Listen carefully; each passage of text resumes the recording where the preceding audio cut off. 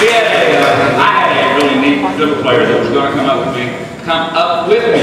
Uh, Don and, and this guy were gonna play some twin fiddles. Don is running a workshop right now, or, or doing something else. Uh, not, not a workshop, she's back on the other stage.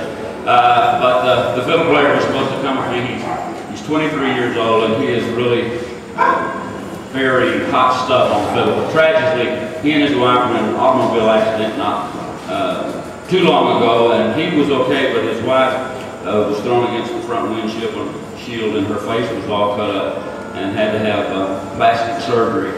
And what they ultimately decided to do was to take the uh, skin uh, to do the plastic surgery uh, off her husband's, uh, what we say, posterior.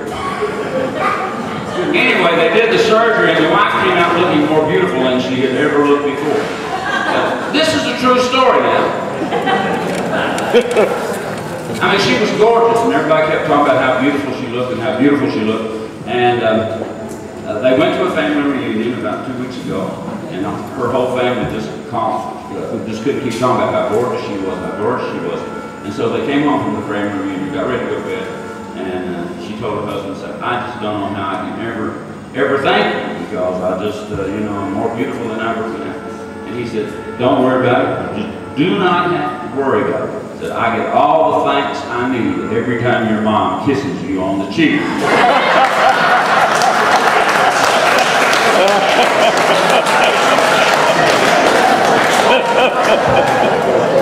anyway, he's not out of the hospital yet, so he didn't, he didn't get to come up here. Um, I think I saw Frank Boom in the audience. Did I see that? Not Frank, Richard.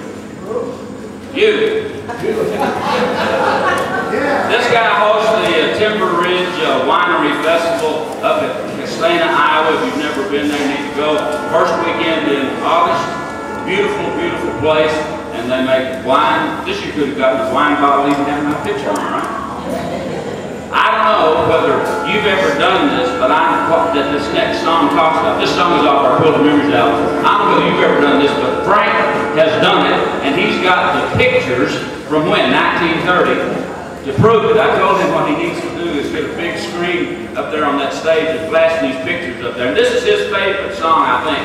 Uh, okay, we're going to do it for, for Richard, Richard, Richard, not Frank. All right, are we ready? Okay, ready? I don't know if you've ever done this up in Iowa. We did it down in Oklahoma. We did it in Texas. Frank did it. Richard did it. Not only Frank, he's sitting over here.